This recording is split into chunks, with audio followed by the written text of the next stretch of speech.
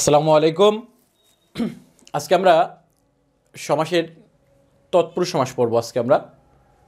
পরীক্ষার ক্ষেত্রে সবচেয়ে বেশি প্রশ্ন আসে তৎপুরুষ এবং কর্মধারী থেকে। আর আমরা জানি যে ব্যাকরণের সবচেয়ে বড় অধ্যায় হলো কোনটা? সমাস। আর সমাসের মধ্যে সবচেয়ে বড় অধ্যায় মানে বড় অধ্যায় বলতেছি সরি সমাসের মধ্যে সবচেয়ে বড় প্রকার হলো তৎপুরুষ সমাস। এটা একটু বেশি বড়। আর এখান থেকে পরীক্ষায় বেশি প্রশ্ন আসে।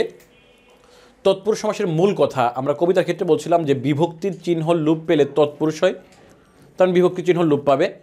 আর তৎপুরুষ সমাসের ক্ষেত্রে পরপদের অর্থ প্রধান এটা হলো মূল কথা। আর এমনি যদি তৎপুরুষ সমাসের প্রকার যদি আমরা বলি, তৎপুরুষ সমাসের নয়টা প্রকার আছে। কয়টা প্রকার? নয়টা।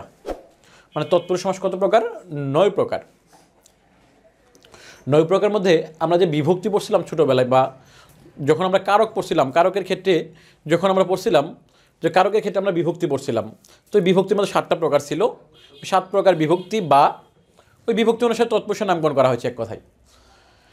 প্রথম বা শূন্য বিভক্তির মধ্যে কোনো বিভক্তি নাই। তার মানে এটা বাদ। বাকি থাকে কয়টা? ছয়টা। ছয়টা বিভক্তি অনুসারে ছয়টা তৎপুরুষের নামকরণ করা হয়েছে। তার মানে দ্বিতীয় তৎপুরুষ থেকে সপ্তমী তৎপুরুষ পর্যন্ত ছয়টা, উপপদ তৎপুরুষ, অলোক তৎপুরুষ এবং নয় তৎপুরুষ। এরকম কয়টা আছে আমাদের? ছয়টা, তিনটা, নয়টা প্রকার। এক নম্বর আছে দ্বিতীয় তৎপুরুষ। এক নম্বর কি? দ্বিতীয় তৎপুরুষ। এক নম্বরে দ্বিতীয় তৎপুরুষ। এক নম্বরে কি? দ্বিতীয় তৎপুরুষ। এক নম্বরে দ্বিতীয় তৎপুরুষ। এখন যদি আপনি ফর্মাল সংজ্ঞা বলেন, বলা হচ্ছে কি, দ্বিতীয় তৎপুরুষের ক্ষেত্রে দ্বিতীয় বিভক্তি কি? কে রে? দ্বিতীয় বিভক্তি কি? কে রে? নাকি? দ্বিতীয় বিভক্তি কি আমাদের? কে রে? এটা জাস্ট মাথায় একটু ঢোকান। যে যদি ফর্মাল সংজ্ঞা বলা হয় যে তৎপুরুষ সমাসের পূর্বপদ থেকে দ্বিতীয় বিভক্তি কে রে লুপ পায়, তাকে বলা হয় কি? দ্বিতীয় তৎপুরুষ। কত সহজ পড়া। উদাহরণ পড়বেন এরকম যে বইকে পড়া সমান সমান কি? বই পড়া। বইকে পড়া সমান সমান বই পড়া। কী লুপ পাচ্ছে? কে রূপ পাচ্ছে? কত সহজ পড়া। যে কে রে লুপ পাইলে দ্বিতীয় তৎপুরুষ হয়, দ্বিতীয় নামও মিল আছে। যে বইকে পড়া সমান সমান কি? বই পড়া। কিন্তু দুঃখের বিষয়টা এখানেই যে পরীক্ষায় হলে কখনো কি থাকবে না? বইকে পড়া থাকবে না। যারা ওই যে বইকে পড়া মুখস্থ করবে, তাদের কত বছর জানি লাগে সমাজ পড়তে? তিরিশ বছর লাগবে। যে বইকে পড়া পরীক্ষা হলে কখনোই থাকবে না। থাকবে কি? বই পড়া। তার মানে আপনার এই সমস্ত পদ দেখে আপনার সমাজ চিনতে হবে। এখন এই বই পড়া, বইকে পড়া আমরা কীভাবে চিনবো দেখেন? এই দ্বিতীয় তৎপুরুষ নির্ণয়ের জন্য আমাদের তিনটা বা চারটা কৌশল আছে। এক নম্বর আছে, যদি সমস্ত পদ দ্বারা, কি দ্বারা? সমস্ত পদ দ্বারা কর্ম বা কাজ বোঝায় কি বোঝালে? কর্ম বা কাজ বোঝালে। দ্বিতীয় তৎপুরুষ হয় দেখেন তো বই পড়া একটা কাজ না? এখন বই পড়া আসে না, আসে যদি কলা বেচা। কোন সমাস? দ্বিতীয় তৎপুরুষ। কারণ কলা বেচা কী বোঝাচ্ছে? একটা কাজ বোঝাচ্ছে। এখন বেশ বাক্য করলে কী হবে? কলাকে বেচা? পরীক্ষা হলে কখনো বেশ বাক্য থাকবে না। বই পড়া, আম কোরানু, কাজ বোঝাচ্ছে নাকি? যদি বলা হয় ভাত রাধা, কাজ বোঝাচ্ছে। কোন সমাস? দ্বিতীয় তৎপুরুষ। যদি বলা হয় ছেলে ভোলানো এটাও দ্বিতীয় তৎপুরুষ কারণ ছেলে ভোলানো কোনো কাজ না? অবশ্যই কাজ। নাকি? অনেকের কাছে কঠিন, অনেকের কাছে কি? সহজ। আমার কাছে আবার কোনো কিছুই না এটা। কঠিন, সহজ বুঝি না আমি এটা। তো এখন, তার মানে ছেলে ভোলানো বা ছেলে সারা কোন সমাস? দ্বিতীয় তৎপুরুষ এক কথায় কর্ম বা কাজ বোঝালে কি হয়? দ্বিতীয় তৎপুরুষ যদি বলে জল সেচন, কি বোঝাচ্ছে একটা? কাজ বোঝাচ্ছে কোন সমাস? দ্বিতীয় তৎপুরুষ দুই নম্বরের ক্ষেত্রে বলা হচ্ছে, যদি পরপদে পণ্য প্রাপ্ত এবং গত থাকে। পণ্যপ্রাপ্ত এবং কি গত থাকে, কোথায় থাকবে? পরপদের ক্ষেত্রে, নাকি? পরপদে। পণ্যপ্রাপ্ত গত থাকলে দ্বিতীয় তৎপুরুষ হয় দেখেন যদি বলা হয় বিপদাপন্ন, শরণাপন্ন, মরণাপন্ন, সংকটাপন্ন, ভাবাপন্ন, কোন সমাস? তৃতীয় তৎপুরুষ। যারা মুখস্থ করে যে বিপদকে আপন্ন, সমান সমান কি? বিপদাপন্ন। কত সহজ পড়া, কি লুপ পাচ্ছে কে লুপ পাচ্ছে নাকি? দুঃখের বিষয়টা এটাই, পরীক্ষা হলে কখনো কি থাকবে না? বিপদকে আপন্ন থাকবে না, থাকবে কি? বিপদাপন্ন তার মানে পণ্য থাকলে দ্বিতীয় তৎপুরুষ পণ্য প্রাপ্ত, অবসরপ্রাপ্ত, ভারপ্রাপ্ত, বৃত্তিপ্রাপ্ত, চান্সপ্রাপ্ত, দুঃখপ্রাপ্ত, কোন সমাস? দ্বিতীয় তৎপুরুষ আমি কি কেয়ারের কথা একবার বলেছি? একবারও বলি নেই। কারণ পরীক্ষা হলে কখনো কি থাকবে না? কেয়ারে থাকবে না। দেখেন যদি বলে ব্যক্তিগত, পরলোকগত, হস্তগত, কুক্ষিগত, কোন সমাস? দ্বিতীয় তৎপুরুষ আর আপনি যখন বুঝবেন এটা দ্বিতীয় তৎপুরুষ তৎপুরুষ, তখন বেশ বাক্য করার সময় কী নিয়ে আসব আমরা? কেড়ে নিয়ে আসব। আর কিছু না। বিপদ বিপদাপন্ন, বিপদকে আপন্ন। তিন নম্বর আছে, যদি শব্দের শুরুতে চির থাকে, কি থাকে? চির। আর চির থাকলে সেটা বেপিয়া অর্থ বোঝায়। কি অর্থ বোঝায়? বেপিয়া। এমনি আপনার পরীক্ষায় প্রশ্ন আসতে পারে, বেপিয়া অর্থ কোন সমাস হয়? দ্বিতীয় তৎপুরুষ হয়। এখন দেখেন, যদি বলা হয় চিরকৃতজ্ঞ কোন সমাস? দ্বিতীয় তৎপুরুষ। এখন যারা মুখস্থ করে, এখন চিরকৃতজ্ঞ কোন সমাস, তখন তারা কীভাবে মুখস্থ করবে? যে চিরকে কৃতজ্ঞ কেড়ে আসছে নাকি এখানে? কেড়ের কোনো অংশও নেই। সো সংজ্ঞা মুখস্থ করা যাবে না। তার মানে চির সুন্দর চিরকৃতজ্ঞ, চিরঋণী, চিরস্মরণীয় কোন সমাস দ্বিতীয় তৎপুরুষ। আর চির থাকলে সেটা ব্যাপী অর্থ বোঝায়। এখন দেখেন, যদি বলা হয় চিরজীবন, যে সারটাকে চিরজীবন পড়াই গেছে তখন চিরজীবন মানে কি বোঝানো হচ্ছে? সারের ব্যক্তি কতটুকু? যত বছর জীবিত আছে এখন। তার মানে দেখেন, চিরজীবন ব্যক্তিয়া বেপিয়া বোঝাচ্ছে।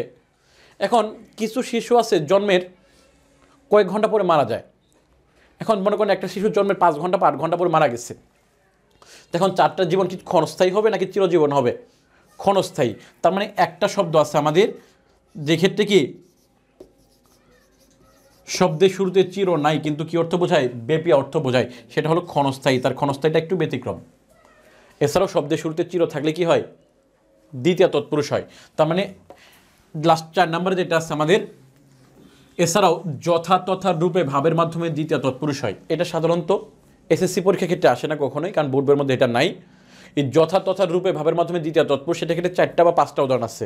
জাস্ট আপনি বই থেকে দ্বিতীয় তৎপুরুষের, এই একশো বিশটাই আছে এটা, যে দ্বিতীয় তৎপুরুষের যে চিনার উপায় যেটা আছে, এটা জাস্ট আপনি দেখবেন, দেখলে বুঝতে পারবেন যে যথাতথা রূপে ভাবের মাধ্যমে দ্বিতীয় তৎপুরুষ হয়। এক্ষেত্রে অর্ধমিত অর্ধভাবে মিত যে বলা হয় কি অর্ধমিত, অর্ধভাবে মিত যথাযথ রূপে মানে চারটা উদাহরণ আছে চারটা উদাহরণ বলে যথেষ্ট। নিম রাজি নিমভাবে রাজি। কোন সমাস? চতুর্থ তৎপুরুষ। দ্বিতীয় তৎপুরুষের ক্ষেত্রে এতটুকু যথেষ্ট। এরপর আছে আমাদের দুই নম্বরে তৃতীয় তৎপুরুষ। দুই নম্বরে কি? তৃতীয় তৎপুরুষ। যারা ফর্মাল সংজ্ঞা মুখস্থ করে, তারা কি মুখস্থ করবে? যে তৎপুরুষ সমাসের পূর্বপদ থেকে তৃতীয় বিভক্তি দ্বারা দিয়া কর্তৃক, দ্বারা দিয়া কি?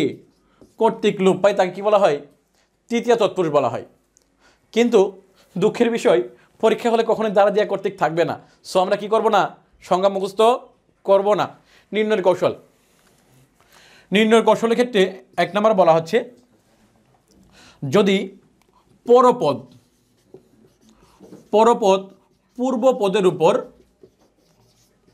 পূর্বপদের উপর নির্ভরশীল হয়। পূর্বপদের উপর কি হয়? নির্ভরশীল যদি হয় সেই ক্ষেত্রে তৃতীয় তৎপুরুষ হয়। যদি বলা হয়, ঢেকি সাটা। ঢেকি ছাটা এখানে পরপদ কোনটা? ছাটা দেখেন তো ছাটাটা কার উপর নির্ভরশীল? ঢেকির উপর নির্ভরশীল না? তার মানে যদি পরেরটা যদি আগেরটার উপর নির্ভরশীল হয়, সেটাই কি হয়? তৃতীয় হয়। দেখেন যদি বলে বিজ্ঞান সম্মত বিজ্ঞান, দেখেন আমি আর উদাহরণ দেখি। বিজ্ঞান সম্মত এখানে পরপদ কোনটা? সম্মত। তার মানে এখানে সম্মতটা কার উপর নির্ভরশীল? বিজ্ঞানের উপর নির্ভরশীল। তার মানে যদি পরেরটা যদি আগেরটার উপর নির্ভরশীল হয়, সেটাই তৃতীয় হয়। তার মানে বিজ্ঞানসম্মত, বিজ্ঞান দ্বারা সম্মত। যদি বলা হয় শ্রমলব্ধ, লব্ধটা কার উপর নির্ভরশীল? শ্রমের উপর নির্ভরশীল। তার মানে কোন সমাস? তৃতীয় তৎপুরুষ। আর আপনি যখন বুঝবেন এটা তৃতীয়া, তখন বেশ বাক্য করার সময় মাঝখানে কিনে আসব আমরা? দ্বারা দিয়া কর্তৃক। তার মানে বিজ্ঞানসম্মত, বিজ্ঞান দ্বারা সম্মত। আর যদি মুখস্থ করেন, অনেক মুখস্থ করতে হবে। মুখস্থ করার দরকার নেই। জাস্ট আমরা কি মনে রাখব? যে পরপদ, পূর্বপদের ওপর নির্ভরশীল থাকলেই তৃতীয়া হয়। তৃতীয়ার ক্ষেত্রে আমাদের দুইটা নির্ণয় কৌশল আছে। একটা হলো এটা, আরেকটা হলো যদি শব্দের শেষে দুই নম্বর নির্ণয় কৌশল যেটা, উন, হীন, শূন্য উনহীন শূন্য কম থাকে। উনহীন শূন্য কম থাকে, তখন সেটাও তৃতীয় তৎপুরুষ হয়। দেখেন যদি বলা হয় জ্ঞানহীন বা জ্ঞান, উন, জ্ঞান, শূন্য কোন সমাস? তৃতীয় তৎপুরুষ। কম থাকলে তৃতীয় তৎপুরুষ। পাঁচ কম, দুই কম, এক কম, তিন কম, কোন সমাস? তৃতীয় তৎপুরুষ। এখন দেখেন, যদি বলা হয় পাঁচ কম পাঁচ কম, যারা আন্দাজে আনসার করে, তারা করবে কি? পাঁচ কম, পাঁচ থেকে কম বা পাঁচ হতে কম। এখন হতে থেকে চেয়ে কোন বিভক্তি? পঞ্চমী। এখন আন্দাজে আনসার করলে অনেকে পঞ্চমী তৎপুরুষ আনসার করবে। এটা কি পঞ্চমী হবে? পঞ্চমী কখনোই হবে না। এটা কি হবে? তৃতীয় তৎপুরুষ। তার মানে কম থাকলেই তৃতীয়া। তার মানে পাঁচ কম, পাঁচ দ্বারা কম। এখন ওই যে আমরা দ্বিগু ক্লাসে বলছিলাম যে সংখ্যা থাকলেই দ্বিগু হয় না, তার মানে পাঁচ কম, এখানেও তো সংখ্যা আছে, এটা কি দ্বিগু সমাস হবে? এটা দ্বিগু সমাস কখনোই না। দ্বিতীয়া, তৃতীয়, আশা করি কমপ্লিট তিন নম্বর আছে আমাদের চতুর্থী তৎপুরুষ। তিন নম্বরে কি? চতুর্থী তৎপুরুষ। চতুর্থী বিভক্তি কি? কে রে? নাকি? চতুর্থী বিভক্তি কে রে? এই চতুর্থী তৎপুরুষের ক্ষেত্রে বিভক্তিটা মনে রাখারও দরকার নাই। আমি বইয়ের মধ্যে চতুর্থী বিভক্তিটা উল্লেখও করি না এখানে। কারণ কি জন্য? পরীক্ষা হলে তো বিভক্তি থাকবেই না। পাশাপাশি দেখেন, দ্বিতীয়ার মধ্যেও কেড়ে আছে, চতুর্থীর মধ্যেও কেড়ে আছে। আমরা এই জিনিসটা মাথায় রাখব না এখানে। চতুর্থী তৎপুরুষের ক্ষেত্রে মনে রাখব কি আমরা? যদি সমস্ত পদ দ্বারা কোনো কিছু ক্ষেত্রে জন্ম বা নিমিত্ত অর্থ বোঝায় অথবা শ্রদ্ধা ভক্তি বোঝায় সেটা চতুর্থ তৎপুরুষ হয়। কারকের ক্ষেত্রে আমরা বলছিলাম যেটাই সম্পাদন কারক সেটাই চতুর্থী তৎপুরুষ। সম্পাদন কারক এবং চতুর্থী তৎপুরুষ হান্ড্রেড পার্সেন্ট এক। কোনো পার্থক্য নেই। তার মানে চতুর্থী তৎপুরুষের ক্ষেত্রে নির্ণয়ের কৌশল আছে আমাদের দুইটা। এক নম্বর আছে যে জন্য বা নিমিত্তার্থে বোঝালে। জন্য বা কি? নিমিত্তার্থে। এখন যেটাই জন্যে সেটা কি? নিমিত্তার্থে। জন্য বা নিমিত্তার্থে, যেমন এটা তদ্ভব শব্দ এটা সংস্কৃত শব্দ। দেখেন যদি বলা হয় বিয়ে পাগলা বিয়ে পাগলা। এখন সে পাগলা কিসের জন্য? বিয়ের জন্য, তার মানে কোন সমাস? চতুর্থ তৎপুরুষ যদি বলা হয় পাঠশালা, কি বলা হয়? পাঠশালা। শালিনা কিন্তু আবার শালা, নাকি? এখন পাঠশালা, শালাটা কিসের জন্য? শালা মানে কি? কক্ষ। কক্ষটা কিসের জন্য? পাঠের জন্য। কোন সমাস? চতুর্থ তৎপুরুষ যদি বলা হয় হজ যাত্রা, যাত্রাটা কিসের জন্য? হজের জন্য। কোন সমাস? চতুর্থ তৎপুরুষ ওই যে ডাক মাসল মাসলটা কিসের জন্য? ডাকের জন্য। রান্না ঘর। ঘরটা আমি কার জন্য নির্ধারণ করছি? রান্নার জন্য। তাহলে কোন সমাস? চতুর্থ তৎপুরুষ শয়ন কক্ষ। কক্ষটা কার জন্য? শয়নের জন্য। কোন সমাস? চতুর্থ তৎপুরুষ দুই নম্বর নির্ণয় কৌশল বলা হচ্ছে কি? শ্রদ্ধা বা ভক্তি বোঝালে। শ্রদ্ধা বা কি বোঝালে? ভক্তি বোঝালে। যদি শ্রদ্ধা বা ভক্তি বোঝায়, সেটাও তৎপুরুষ হয়। দেখেন যদি বলা হয় গুরু ভক্তি। গরু না কিন্তু আবার গুরু। গুরু ভক্তি। এখন গুরু ভক্তি মানে কি বোঝাচ্ছে? শিক্ষকের প্রতি ভক্তি বোঝাচ্ছে না, শ্রদ্ধা ভক্তি কোন সমাস? চতুর্থ তৎপুরুষ। যদি বলা হয় দেশপ্রীতি কোন সমাস? সেটাও চতুর্থ তৎপুরুষ, কারণ কি জন্য দেখেন? দেশপ্রীতি, এটা নিঃস্বার্থভাবে কাজ বোঝাচ্ছে না। এখন আমাদের বাংলাদেশের মহান পুরুষ যারা, মই বীর মুক্তিযোদ্ধা। এখন বীর মুক্তিযোদ্ধারা যখন যুদ্ধে গেছে, তখন কি তারা কোনো স্বার্থ নিয়ে গেছে? তখন তারা কি জানতো যে কোঠা পাবে? মুক্তিযোদ্ধা কোঠার জন্য তারা যুদ্ধে যায়, নিঃস্বার্থভাবে গেছে। তার মানে ওই দেশপ্রীতি, দেশের প্রতি ভালোবাসা, শ্রদ্ধাভক্তি নিঃস্বার্থভাবে বোঝায় যার কারণে কোন সমাস চতুর্থ তৎপুরুষ। যেটাই চতুর্থ তৎপুরুষ, সেটাই সম্পাদন কারক চতুর্থ তৎপুরুষের এর থেকে বাহির আর কিছু নাই। তার মানে এরপর আছে আমাদের পঞ্চমী তৎপুরুষ। চার নম্বরে কি আছে? পঞ্চমী। পঞ্চমী বিভক্তি কি? হতে থেকে চেয়ে। যদি আপনি ফর্মাল সংজ্ঞা মুখস্থ করেন মানে গতানুগতিক সংজ্ঞা, যে যে তৎপুরুষ সমাসের পূর্বপদ থেকে হতে থেকে চেয়ে লুপ পায়, তাকে বলা হয় কি? পঞ্চমী তৎপুরুষ। আপনি মুখস্থ করেন উদাহরণ, যে বিলাত থেকে ফেরত, বিলাত থেকে ফেরত সমান সমান কি? বিলাত ফেরত। বিলাত থেকে ফেরত সমান সমান কি? বিলাত ফেরত কোন সমাস? চতুর্থ তৎপুরুষ সরি পঞ্চমী তৎপুরুষ থেকে হতে থেকে চেয়ে লুপ পাইছে। কিন্তু দুঃখের বিষয় কি? পরীক্ষা হলে কি হতে থেকে চেয়ে থাকবে? কখনোই থাকবে না। এজন্য আমরা কি করব না? সংজ্ঞা মুখস্থ করব না। দেখেন, এখানে মনে রাখব কি আমরা? পঞ্চমী তৎপুরুষের মূল কথা, একটা জিনিস মনে রাখলেই শেষ। যদি সমস্ত পদ দ্বারা বিচ্যুত বা আলাদা হওয়া বোঝায়। বিচ্যুত বা কি বোঝালে? আলাদা হওয়া বুঝালে এবং বাক্যে যদি ভয় শব্দের উল্লেখ থাকে, কি থাকে? ভয় শব্দের উল্লেখ থাকে, তখন সেটা কোন সমাস হয়? পঞ্চমী তৎপুরুষ। দেখেন যদি বলা হয় স্কুল পালানো কোন সমাস? সে কি স্কুলে আছে নাকি বিচ্যুত হয়ে গেছে? বিচ্যুত হয়ে গেছে না? তাহলে কোন সমাস? পঞ্চমী তৎপুরুষ। যদি বলা হয় ঋণ মুক্ত সে কি ঋণে আছে নাকি ঋণ থেকে ডিভাইডেড হয়ে গেছে, মুক্ত হয়ে গেছে না? কোন সমাস? পঞ্চমী তৎপুরুষ। যদি বলে স্নাতক উত্তর, সে কি স্নাতকে আছে নাকি উত্তীর্ণ হয়ে গেছে? উত্তীর্ণ হয়ে গেছে কোন সমাস? পঞ্চমী তৎপুরুষ। মুখভ্রষ্ট। এখন মুখভ্রষ্ট মানে কি? দুষ্টামি করে এরকম সময় বাদাম খাওয়ার সময় বাকি ডাল ভাজা খাওয়ার সময় উপর দিকে দেয়, আম এমন করে খায়। তখন মুখে না পড়ে যদি এরকম সাইড দিয়ে পড়ে যায়, সেটাকে কি বলা হয়? মুখভ্রষ্ট বলা হয়। তার মানে বিচ্যুত হয়ে গেছে না? কোন সমাস? পঞ্চমী তৎপুরুষ। ভয় শব্দের উল্লেখ থাকলেও পঞ্চমী। লুকো ভয় প্রাণ ভয়, কোন সমাস পঞ্চমী তৎপুরুষ যদি বলি জলাতঙ্ক, কোন সমাস পঞ্চমী তৎপুরুষ স্যার, ভয় তো নাই। আতঙ্ক আর ভয় তো একই কথা। তার মানে কোন সমাস পঞ্চমী তৎপুরুষ একটা উদাহরণ আপনার কাছে একটু ব্যতিক্রম লাগতে পারে, সেটা হলো প্রাণপ্রিয়। প্রয়োজন মধ্যে আপনি ব্যতিক্রম হিসেবে এটা মনে রাখতে পারেন। প্রাণপ্রিয় মানে কি প্রাণ হতেও প্রিয়, কোন সমাস পঞ্চমী তৎপুরুষ পঞ্চমী ক্ষেত্রে আর কিছু নাই এখানে। এরপর আমাদের ষষ্ঠী তৎপুরুষ। কয়টা গেছে আমাদের? দ্বিতীয়া, তৃতীয়া, চতুর্থী এবং কি? পঞ্চমী। পাঁচ নম্বর আছে, ষষ্ঠী তৎপুরুষ। ষষ্ঠী তৎপুরুষ। ষষ্ঠী বিভক্ত কি? র, এর।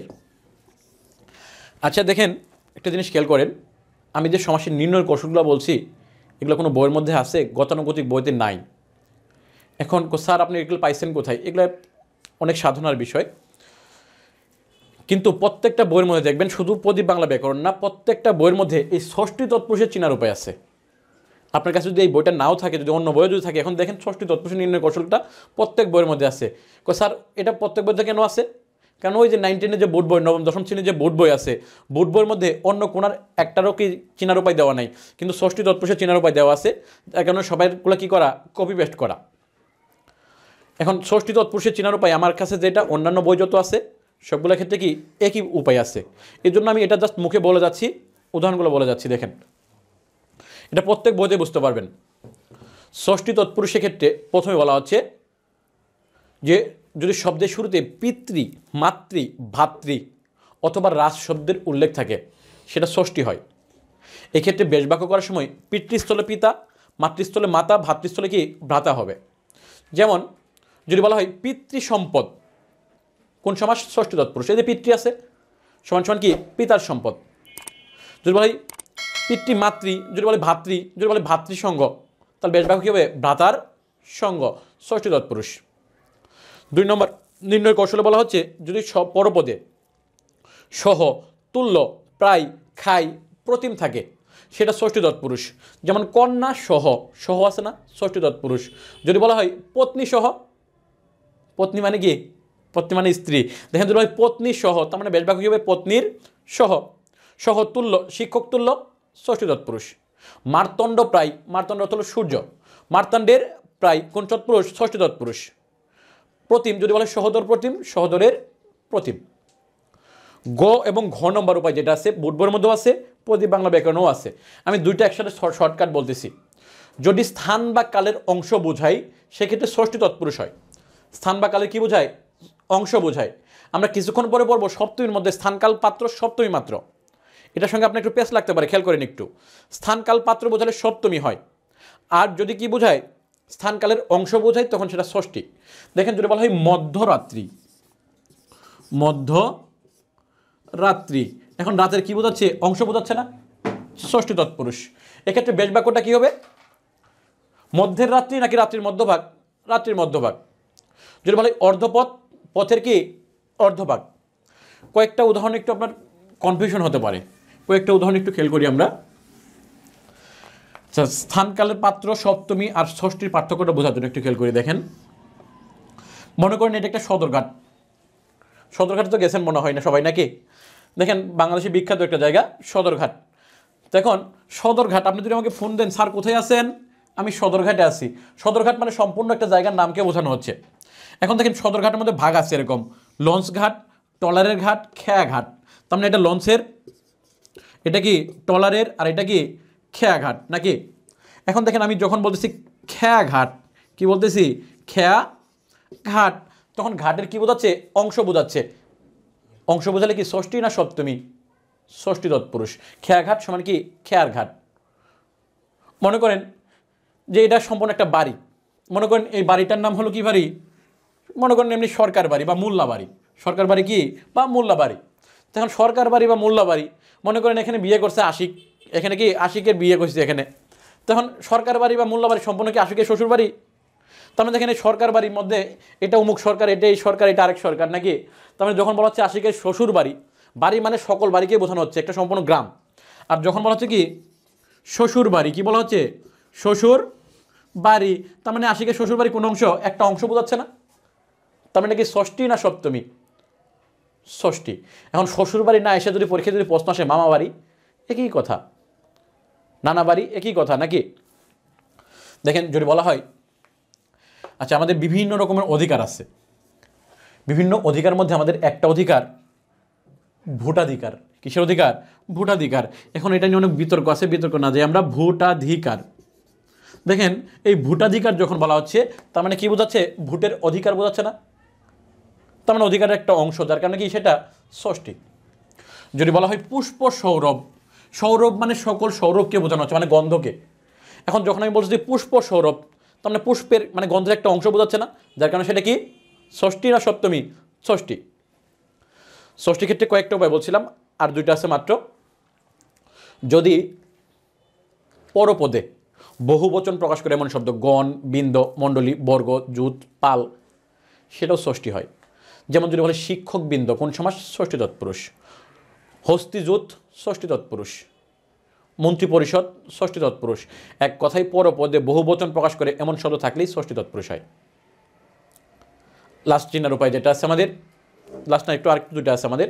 যদি পরপদে শিশু, দুগ্ধ অথবা শাবক শব্দের উল্লেখ থাকে, আপনারা সুবিধার্থে, আপনার বোঝার জন্য সামনে বইটা খুলে রাখতে পারেন যে পরপদে যদি কি থাকে, যেখানে আছে কত পৃষ্ঠা দেখতে পারেন? একশো চার পৃষ্ঠায় আছে। একশো চার এবং একশো পাঁচ।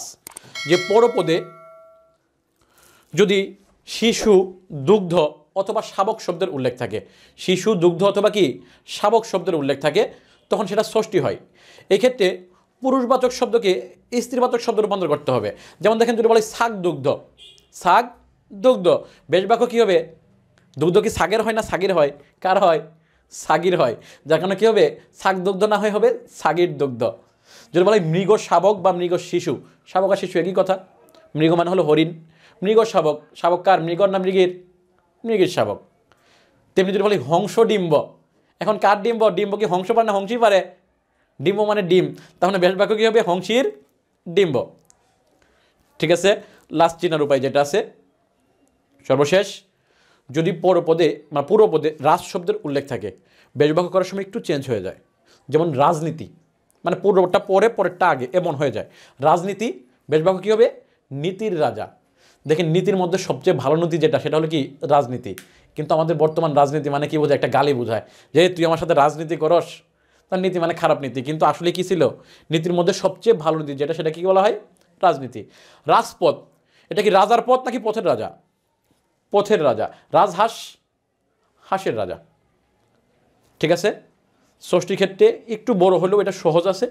বই, যে কোনো বইয়ের মধ্যে আছে। প্রদীপ বাংলাতে মধ্যে আরও সুন্দর করে সিরিয়াল করে দেওয়া আছে। ওইখান থেকে দেখতে পারেন। ছয় নম্বর আছে আমাদের সপ্তমী তৎপুরুষ।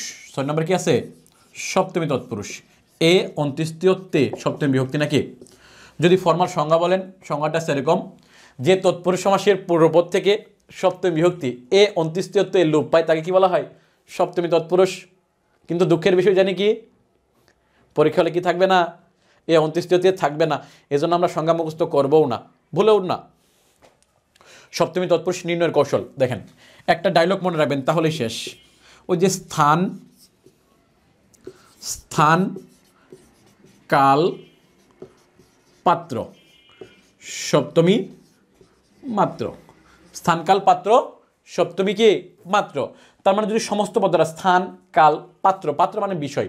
পাত্র মানে কি না? বিয়ের বর্ণা বা পাত্র বোঝায় সেটা কোন সময় সপ্তমী তৎপুরুষ। দেখেন, যদি বলা হয় স্থানের ক্ষেত্রে, যদি বলা হয় গাছ পাকা, কোথায় পাকা? গাছে পাকা স্থান বোঝাচ্ছে। বনবাস কোথায় বসবাস করে? বনে স্থান বোঝাচ্ছে নাকি? বস্তা পচা, কোথায় পচা? বস্তা পচা স্থান বোঝাচ্ছে। যদি বলা হয় সলিল সমাধি, তার সমাধি কোথায় হয়েছে? সলিলে পানির স্থান বোঝাচ্ছে। সপ্তমী তৎপুরুষ। যদি বলে বিশ্ববিখ্যাত কোথায় সে বিখ্যাত? বিশ্ব তার সম্পূর্ণ স্থান বোঝাচ্ছে সপ্তমী তৎপুরুষ। যদি বেশ বাক্য করেন, গাছ পাকা, গাছে পাকা বিশ্ববিখ্যাত বিশ্বে বিখ্যাত। স্থান কাল কাল মানে কি? সময়। যদি বলে রাত কানা দিবানিদ্রা অকাল মৃত্যু অদৃষ্টপূর্ব ভূতপূর্ব সপ্তমী তৎপুরুষ। পাত্র মানে কি? পাত্র মানে বিষয়। যদি বলে মাদকাসক্ত, সে কোন বিষয়ে আসক্ত? মাদকে আসক্ত পাপাসক্ত, সে কোন বিষয়ে আসক্ত? পাপে আসক্ত। রণদক্ষ, সে কোন বিষয়ে দক্ষ রণদক্ষ। যদি বলা হয়, বাকপটু, সে কোন বিষয়ে পটু বাকে পটু বাক মানে কি? কথা। ওই যে আমাদের হানিফ সংকেত দাদা আছে। দাদা না চাচা? দাদা, অনেক বয়স্ক মানুষ উনি। এখন ওই হানিফ সংকেত, বাকপটু, তার মানে কোন সমাস? সপ্তমী তৎপুরুষ। এক কথায় স্থানকাল পাত্র, সপ্তমী মাত্র। আমাদের ছয়টা প্রকাশ মাত্র তিনটা আছে। তিনটা খুবই সহজ। তিনটার জন্য তিনটা উপায় আছে মাত্র। সাত নম্বর আছে আমাদের অলুক তৎপুরুষ। সাত নম্বর কি আছে? অলুক। আমরা অলুকের সংজ্ঞা আগেই বলছিলাম যে সমস্ত পদে বিভক্তির চিহ্ন থাকবে এবং বেশবাকের সময় বিভক্তির চিহ্নের লোপ পাবেন না। দেখেন, অলুক তৎপুরুষের ক্ষেত্রে যদি বলা হয় সোনার বাংলা। সোনার বাংলা। এখানে কাকে বোঝাচ্ছে? বাংলাকে বোঝাচ্ছে তার মানে পরপদ অর্থ প্রধান। তৎপুরুষ সমাস। এখান থেকে তো সোনার বাংলা রো বিভক্তি চিহ্ন আছে না? আমার মূল শব্দটা কি? সোনা এখানে কি আছে আমাদের? রো বিভক্তি চিহ্ন আছে। তার মানে সোনার বাংলা মানে কাকে বোঝাচ্ছে? বাংলাকে বোঝাচ্ছে। যেহেতু বিভক্তির চিহ্ন আছে এখানে, তার মানে অলুক। আর যেহেতু পরপদের অর্থ প্রধান তার মানে কোন তৎপুরুষ? অলুক তৎপুরুষ। যদি বলা হয়, যৌবনের গান। যৌবনের গান। কাকে বোঝাচ্ছে এখানে? গানকে বোঝাচ্ছে। যৌবনের এর বিভক্তি চিহ্ন আছে না এখানে? তার মানে যেহেতু বিভক্তি চিহ্ন আছে আর মানে গানকে বোঝাচ্ছে তার মানে কি? অলুক তৎপুরুষ। যদি বলা হয়,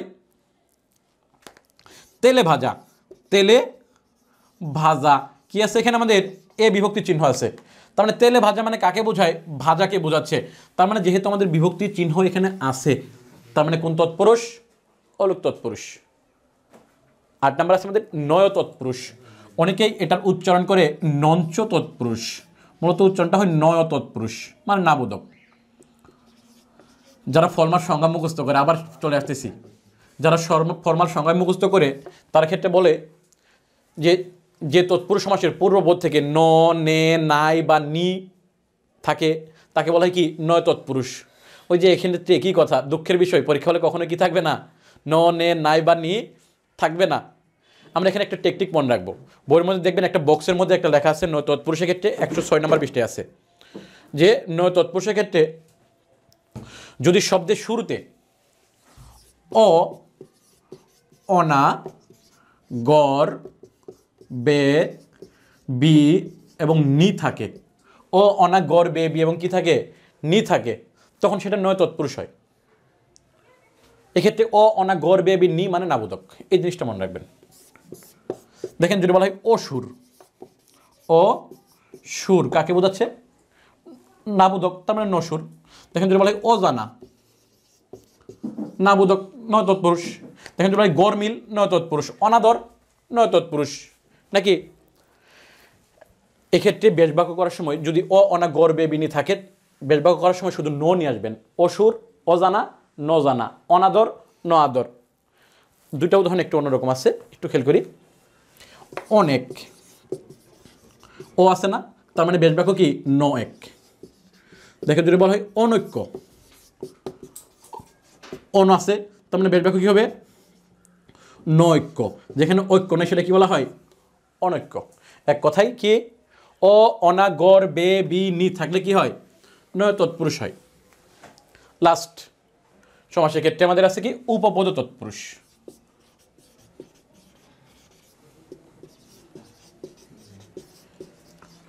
যদি ফর্মাল সংজ্ঞা মুখস্থ করেন, বহুত কঠিন। যে উপপদের সাথে যে তৎপুরুষ হয়, দরকার নেই ফর্মাল সংজ্ঞা। এক্ষেত্রে আমরা একটা কৌশল মনে রাখব, দেখেন। বা বলা হচ্ছে সংজ্ঞার ক্ষেত্রে যে কী দন্ত পদের সাথে, দেখেন সংজ্ঞাটা কি। বলেও মুখস্থ করবেন না কখনোই। আমাদের বইয়ের মধ্যে একশো সাত পৃষ্ঠে আছে, বলা হচ্ছে যে কি দন্ত পদের সাথে উপপদের যে সমাস হয়, তাকে কি বলা হয়? উপপদ তৎপুর বলা হয়। এখন কি দন্ত পদ কিও বহুত ভেজাল, দরকার নাই এটা। এখানে আমরা একটু কৌশল মনে রাখব। দেখেন, প্রথমে আমি দু একটা শব্দ লিখি। দেখেন পকেট যদি বলা হয় সত্য, সর্বনাশ। আমরা টেকনিক কৌশলটা কি মনে রাখব? বইয়ের মধ্যে লেখা আছে অবশ্যই। যদি কোনো বিশেষ্য বা বিশেষণ পদ দ্বারা কোনো ব্যক্তি সংখ্যাটা বড় হলেও সহজ। যদি কোনো বিশেষ্য বা বিশেষণ পদ দ্বারা কোনো ব্যক্তি, বস্তু বা প্রাণীর দুষ্গুণ বা পেশা সম্পর্কিত নাম বোঝায়, তখন সেটা উপতৎপুরুষ হয় দেখেন পকেট। এই পকেট নিয়ে যার কাজ তাকে কি বলা হয়? পকেট মার।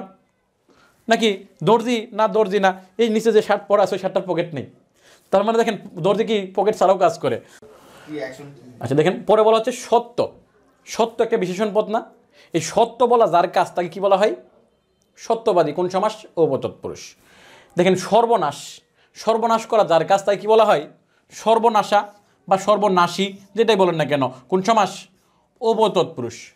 দেখেন বুঝতে পারি জাদু একটা বিশেষ পদ। ওই জাদু নিয়ে যার কাজ তাই কী বলা হয়? জাদুকর। কোন সমাস? উপতৎপুরুষ দেখেন ইন্দ্র একটা দেবতার নাম।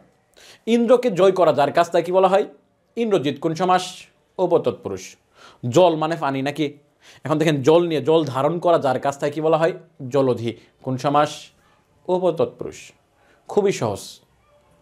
জাস্ট একটাই মাথায় রাখবেন যে যদি কোনো বিশেষ্য বা বিশেষণ পদ দ্বারা কোনো ব্যক্তি, বস্তু বা প্রাণীর দুর্গুণ বা পেশা সম্পর্কিত নাম বোঝায়, সেটা কোন সমাস হয়? তৎপুরুষ। যদি বলা হয় কি, গলা কাটা মানে কল্লা কাটা কাল্লা গলা কাটা মানে বলে কাল্লা কাটা, গলা কাটা। এখন গলা কাটা যার কাজ তাই কি বলা হয়? গলা কাটা কোন সমাস? তৎপুরুষ। ছেলে ছেলে নিয়ে যার কাজ তাই কি বলা হয়? ছেলে ধরা। কোন সমাস? তৎপুরুষ। আমাদের একটা উদাহরণ ব্যতিক্রম আছে তারপর ব্যতিক্রম না, সারপুকা। এখন সারপুকা কোন সমস্যা অব তৎপুরুষ এখন মনে চৌধুরী স্যার জানে, মনে অনেক কেমন মানে কি, অনেক জ্বালাইছে স্টুডেন্ট লাইফে তাকে। সারপুকা তার মানে যে পোকা ধরলে কি সাইডে দেয়? সারপুকা কামড় দিলে একটু জোরে যায় না? তার মানে কি ছাড়ে যে পোকা কোন সমাস অব তৎপুরুষ একটু বেশবাক্যর নিয়মটা একটু দেখি। এটা বেশবাক্য কীভাবে করবেন? বিশেষ্য বা বিশেষণ যদি থাকে প্লাস ক্রিয়া প্লাস বিভক্তি প্লাস কি? যে। যদি হয় সেটা উপর তৎপুরুষ হয়। দেখেন, ওই যে পকেট একটা বিশেষ পদ না? পকেট এখানে ক্রিয়াটা কি? মার। তার মানে মার। কি যুক্ত করলাম? বিভক্তি এ এই যে যে দিলাম পকেট মারে যে। দেখেন, সত্য। সত্য বিশেষণ পদ সত্য বলে, বল ক্রিয়া, এর সঙ্গে যুক্ত করি, তাহলে সেটা কি হবে? বলে। তার মানে যদি যে যুক্ত করি, তার মানে সত্য বলে। যে তাই কি বলা হয়? সত্যবাদী। ওই যে জাদুকর জাদু করে যে তাই কি বলা হয়? জাদুকর। কোন সমাস? তৎপুরুষ তৎপুরুষ সমাজটা একটু বড়, শুরুতেই বলছি আমরা, কিন্তু সহজ। যদি আপনি নির্ণয়ের কৌশলটা মনে রাখতে পারেন, তাহলে কোনো সমস্যাই হবে না। এক কথায়, তৎপুরুষ সমাসের ক্ষেত্রে অবশ্যই নির্ণয়ের কৌশলগুলো পড়তে হবে। নির্ণয়ের কৌশল না পড়ে যদি আপনি গতানুগতিক মুখস্থ করেন, তাহলে দেখবেন সমাজ পড়তে পড়তে তিরিশ বছর পার হয়ে গেছে। তারপরে সমাস কি হয় নাই? শিখা শেষ হবে না। এজন্য নির্ণয়ের কৌশলগুলো অবশ্যই পড়বেন। আর ভিডিও দেখার সময় অবশ্যই সামনে বইটা খুলে রাখবেন, তাহলে বুঝতে অনেকটাই সহজ হবে। কারণ ভিডিওর ক্ষেত্রে সব কোনো কথা বলা যায় না বা উদাহরণ ক্ষেত্রে লেখা যায় না। যার কারণে কি ওই বইয়ের উদাহরণগুলো দেখবেন আর কি করবেন? আমার কথাটা শুনবেন, তাহলে খুব সহজে বুঝতে পারবেন। আশা করি তৎপর্ষে কোনো সমস্যা থাকবে না। ভালো থাকবেন, সুস্থ থাকবেন, আল্লাহ হাফেজ।